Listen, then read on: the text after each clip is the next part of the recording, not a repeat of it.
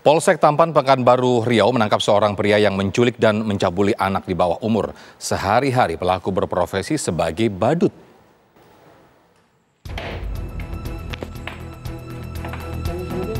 Tim Satreskrim Polsek Tampan Pekanbaru Riau dibantu warga mendobrak sebuah rumah kontrakan milik Jeff, seorang pria yang berprofesi sebagai badut yang menculik anak perempuan berumur 15 tahun.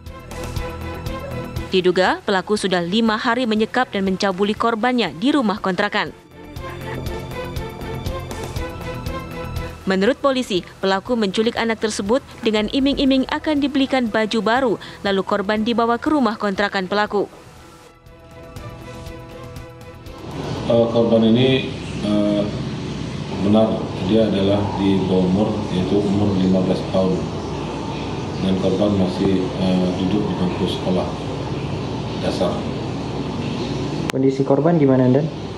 Kondisi korban sekarang uh, dalam uh, pemulihan dari pihak keluarganya. Untuk diketahui pelaku ini adalah kebiasaan sehari-harinya adalah uh, menjadi seorang badut di uh, perempatan jalan Arifin Ahmad.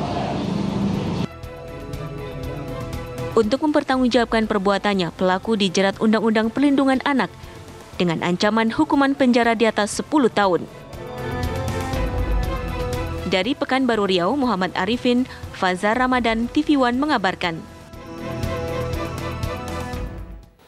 Ya untuk mengetahui informasi terkini kita sudah terhubung dengan Kapolsek Tampan Kompol Asep Rahmat. Selamat uh, sore Pak Kapolsek. Selamat sore Pak. Ya Pak Kapolsek ini pelaku sudah melakukan berapa kali ini Pak terhadap korban? Apakah baru sekali atau jangan-jangan sudah beberapa kali ini Pak? Pelaku sudah melakukan persetubuhan terhadap korban selama disekap itu selama lima hari Okay. Jadi sudah lima kali yang bersangkutan melakukan persetubuhan terhadap anak di bawah umur ini.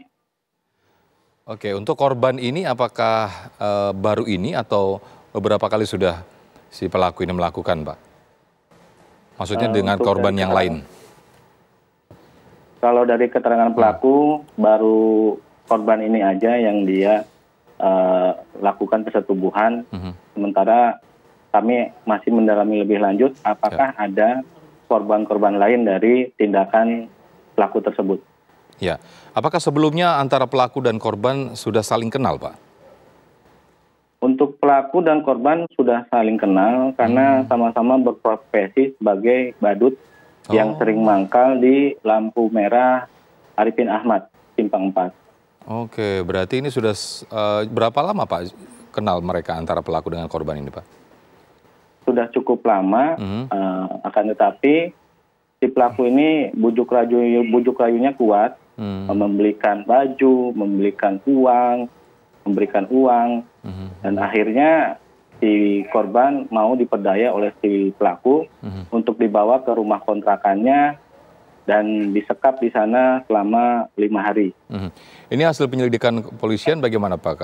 Apakah uh, bisa sampai ketahuan apakah ada laporan dari warga atau penyelidikan kepolisian? Untuk kronologis pengungkapannya dari pihak keluarga hmm. Mencari dari keberadaan korban dan setelah beberapa hari ya. pihak keluarga menemukan adanya handphone korban di rumah. Hmm. Setelah dibuka ternyata ada bukti chat yang menerangkan bahwa si YF ini dia ada mentransfer uang dan mengajak ketemuan hmm. dengan korban. Setelah hmm. itu korban dibawa ke rumah kontrakan, hmm. diberikan uang, diberikan baju dan disekap di rumah kontrakannya selama, selama lima hari. Hmm. Dan setelah itu dilakukanlah persetubuhan selama lima kali terhadap korban hmm. tersebut. Hmm. Pengakuan dari korban selama disekap setelah di berhasil dikeluarkan oleh pihak kepolisian seperti apa nih Pak? Untuk pengakuan korban yang jelas yang bersangkutan diarahkan untuk uh, mengikuti apa maunya dari pelaku hmm. dan tidak melakukan perlawanan. Hmm. Karena pelaku dikunci dari luar dengan menggunakan rantai dan uh, kunci gembok. Berarti selama lima hari di skap itu apakah uh, korban sempat diberi makan atau benar-benar tidak diberi makan selama lima hari itu, Pak? selama lima hari korban diberikan makan, hmm. diberikan uang, dan juga diperdaya dengan buduk rayu si pelaku. Baik. Untuk pelaku ini dikenai pasal berapa nih Pak? Pelaku dikenakan pasal 81 ayat 1 Undang-Undang Perlindungan Anak dengan ancaman hukuman 15 tahun penjara.